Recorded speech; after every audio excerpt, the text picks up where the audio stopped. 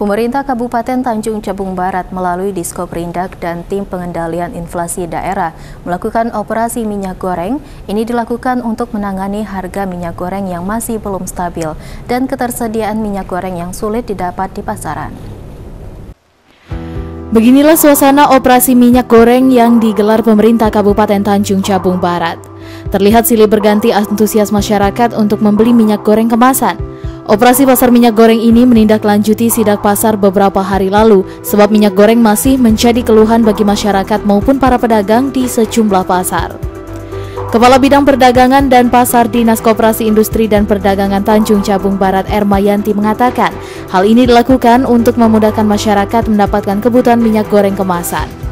Sehingga pihaknya hadir untuk melakukan operasi pasar minyak goreng di mana stok yang disediakan adalah jenis minyak goreng kemasan sebanyak 1.200 liter dengan harga Rp21.000 per liternya. Dirinya juga mengatakan operasi pasar minyak goreng ini akan terus dilakukan dari awal menyambut puasa hingga pertengahan dan menyambut Hari Raya Idul Fitri mendatang.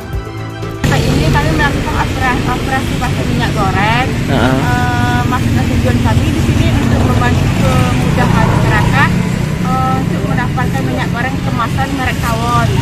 Di sini kami uh, menyediakan 1.200 liter dengan harga uh, 21.000 ukuran 900 ml. Uh, untuk hari hanya satu hari ini. Nah untuk kelanjutannya kami akan mengadakan operasi lagi. Dua jam pelaksanaan operasi pasar, seluruh minyak goreng pun habis terjual.